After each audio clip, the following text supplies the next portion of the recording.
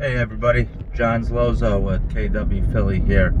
People are asking, should I buy a house? What's going on? Rates are up, uh, prices coming down, so forth. Well, the only way I can answer that question is, what's your circumstance?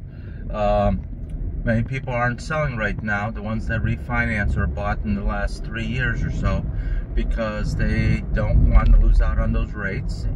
Values have tapered off and so forth. But if you have a need to buy, there's always going to be people buying and selling. Meaning that if you're relocating for work, you need a bigger house, you need a smaller house. Everybody's circumstance is a little different. That's not going to stop people from buying.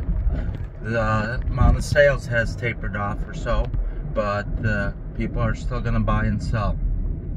And if you're renting right now, rents are going up. So remember, you are always paying a mortgage when you're renting. It's just not your own. So if you're renting and with rents rising, it's still maybe cheaper to own. So in short, it's always a good time to buy real estate, but you got to look out for the neighborhood you're buying, the area you're buying, meaning it's a solid area that prices won't drop when there's a decrease, when there's a market turn and in turn it will appreciate faster when times are good.